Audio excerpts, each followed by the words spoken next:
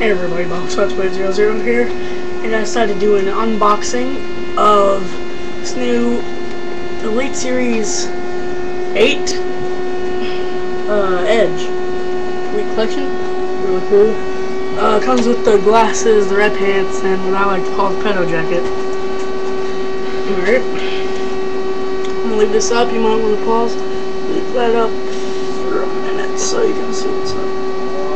Well, it's really blurry, I don't know. I do.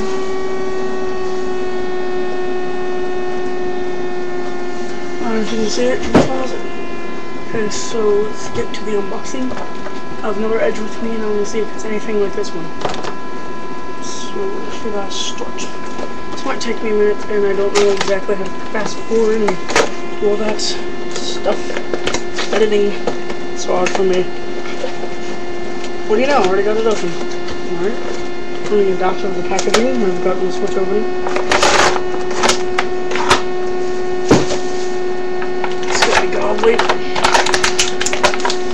I don't know.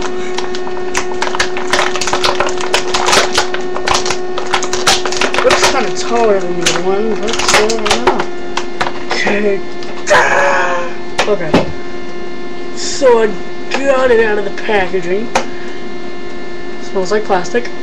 Like it always does, and I always like smell it. Uh, smell it. His head, smiling head scan. Removable sunglasses, which is cool as hell. Don't know if you can remove the jacket or not. Yeah, it looks like you can, but I'm gonna have a ton of trouble putting that back on. So I'm gonna give it a try.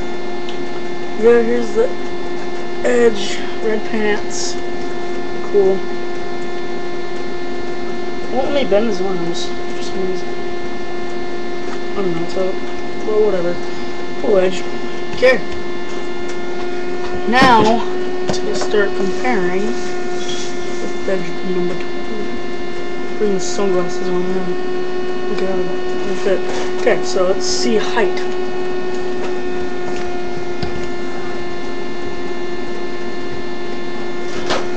This is taller than that one. But the foot stance. One's a bit taller. You can't really see well. I have to put it on the ground, but this one's a bit taller. Uh, let's look at the leg, because on this one, of his leg is like huge. And this one, it's, it's tiny leg. Huge and tiny legs. What I like. Yep. Yeah, there's not too much to care about. I want to take it off, yet I don't. Don't why.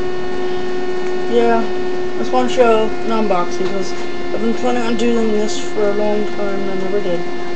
But I might as well do it now. Cool, you know.